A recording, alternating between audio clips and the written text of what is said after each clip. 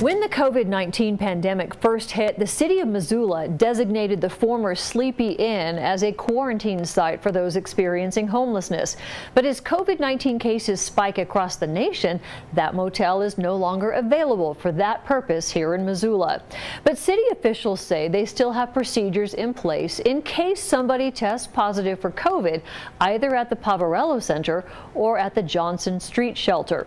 The executive director of the POV, Jill Says there is no problem with COVID right now at either shelter, but tests are available for those who start to feel sick.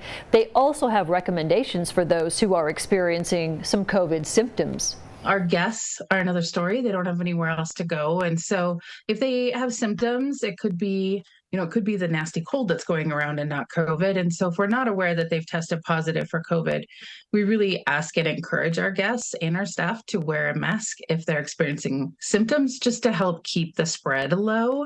Um, but we're not requiring that at this time. Bonny adds there is no current plan in place to open an additional quarantine shelter.